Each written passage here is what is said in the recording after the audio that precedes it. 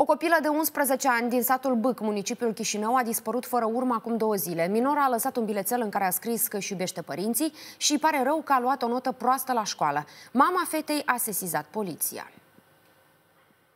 Fata a plecat de acasă în data de 28 martie. Mama minorei ne-a spus că este pentru prima dată când fica ei a plecat de acasă fără acordul ei. Mai mult, femeia susține că ea mereu asculta de sfaturi și era foarte ordonată.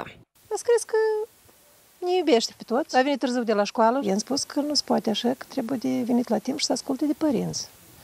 Ei, și eu hotărât fata că să nu ne obișnuiască sau ceva.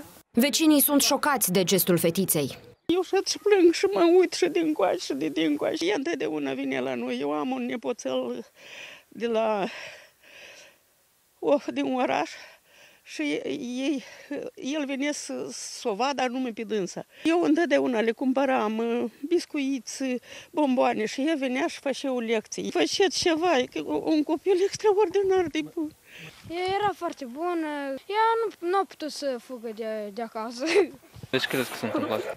Poate a furat-o. Eu azi am auzit lucrul ăsta și am fost șocat pe baza la asta.